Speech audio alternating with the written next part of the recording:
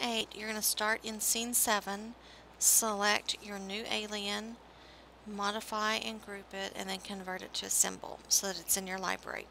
So when you insert your new scene, which is scene 8, um, your alien will be over here in the library, and you can drag it to the stage. Now to add the heartbeat to your alien, we're going to go over here um, to the um, timeline and create a new layer. And the new layer will be called Heart. Make sure it's at the top of the layers. And um, in frame 1, we're going to draw the heart. So with the pencil tool, draw as best you can a heart and use the paint bucket to paint it in. Then in about frame 15 you will insert a blank keyframe right so now we go from this to that so we're going to copy those frames 1 through 15 or wherever you were. Uh, copy and paste them. And copy and paste them through uh,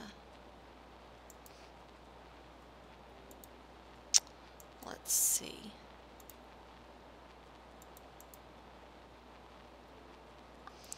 up to about 75. Alright, so there's the heartbeat, and it looks like so. Alright, then for our welcome, we're going to create a new layer, name it welcome, and in frame 1, we're going to um, use our text tool, and type welcome to. You can go to properties, choose your font size, style, color, all that kind of stuff.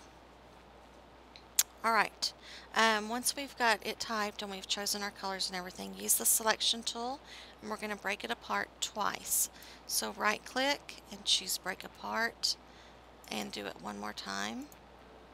Now you have little white dots on your words.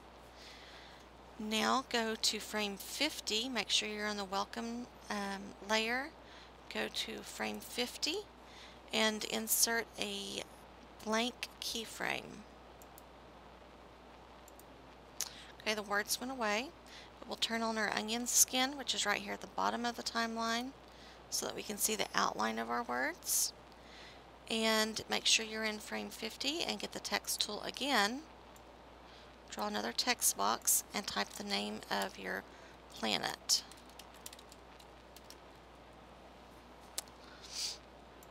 And you'll want to move it right on top of the words welcome to and break it apart also twice.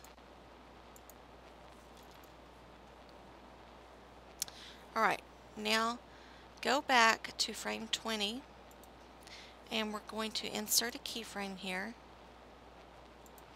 And this will copy whatever's in 1 over to 20 so it stays on that long.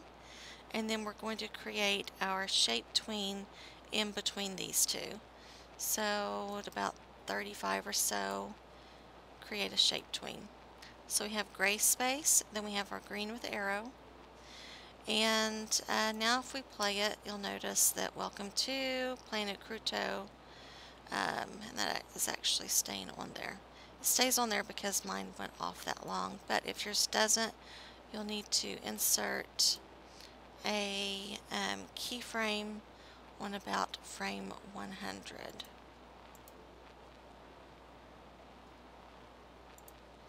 so that it will stay.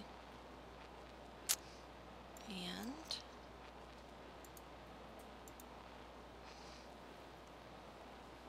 there's your scene.